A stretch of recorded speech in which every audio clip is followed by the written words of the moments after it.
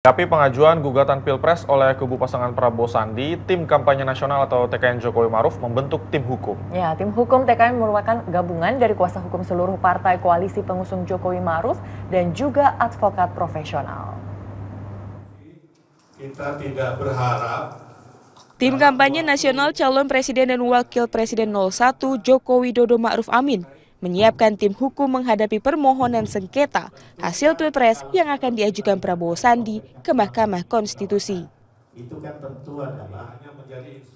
TKN mengaku sudah siap secara teknis jika gugatan diajukan oleh tim BPN Capres Cawapres 02 Prabowo Sandi.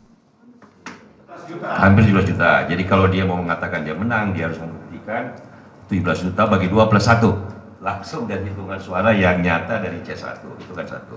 Nah, kepada yang menuduh ini asas hukum dia harus membuktikan the burden of proof-nya kan kepada yang membawa yang mengatakan bahwa menurut saya ini masih kecurangan buktikan apa yang dimaksud dengan anda nanti kan hakim akan menilai Tim hukum TKN terdiri dari anggota partai politik Koalisi Indonesia Kerja serta advokat profesional yang akan diketuai Yusril Iza Mahendra.